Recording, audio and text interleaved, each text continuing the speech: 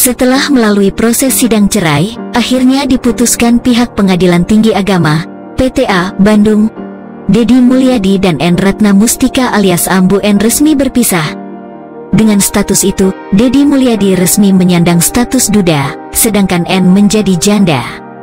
Keputusan itu ditetapkan setelah upaya Dedi Mulyadi untuk banding ditolak PTA Bandung.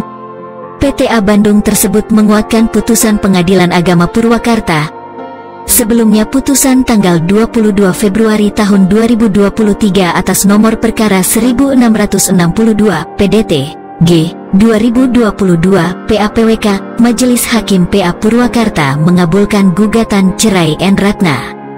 Dari putusan itu, Dedi Mulyadi mengajukan upaya banding pada tanggal 6 Maret tahun 2023 Kemudian pada Mei tahun 2023 lalu, sudah ada putusan banding justru menguatkan putusan Majelis Hakim PA Purwakarta.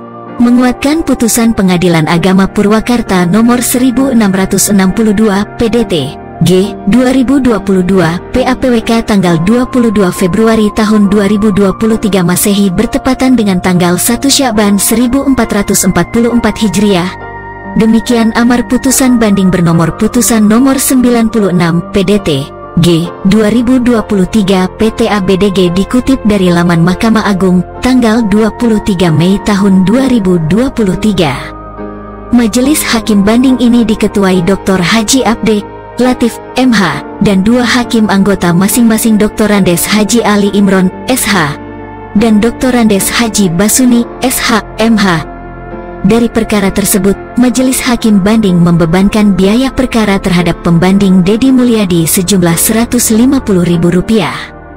Hingga saat ini belum diketahui apakah Kang Dedi Mulyadi menerima putusan ini atau mengajukan kasasi.